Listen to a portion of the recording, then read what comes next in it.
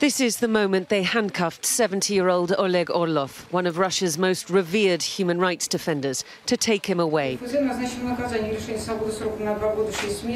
A two and a half year sentence for supposedly discrediting Russia's armed forces. Still defiant, still full of love for his country, which is why his supporters clapped and cheered as they wished him goodbye. This is what he said just before the verdict about Russia's leadership. They are going somewhere backwards, back from the 20th to the 17th and 16th centuries. And unfortunately, they're dragging our country with them. But victory will be ours. A focus for the prosecution, an article that Orlov had written called They Wanted Fascism, They Got It. In an interview with Sky News at the start of his trial last summer, he warned of an even more dangerous future for his country. If this regime stays in this form for a very long time, then the transition can only be explosive. Revolution or something like that, anarchy. And that's scary. I do not want this for my country.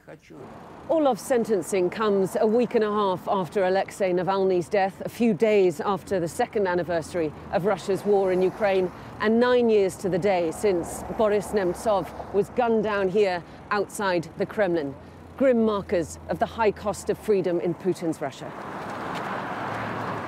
Nine years on, and people still come to mark this anniversary under the police's watchful eye. Western embassies, too. He was a man of great mind. Unfortunately, our country doesn't need people like that. What did Boris Nemtsov mean to you and for Russia? My youth and my hopes.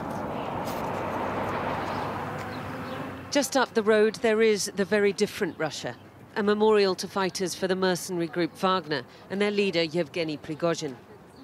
Not a place for fans of Nemtsov or Alexei Navalny. No, he wasn't fighting for freedom. He fought for there to be no Russia. And these guys, they fought for Russia to exist radically different mindsets on what it means to defend the Russian people, now through the prism of this war. The one risking jail or worse for speaking out, the other almost glad to see the back of them. Diana Magnay, Sky News, Moscow.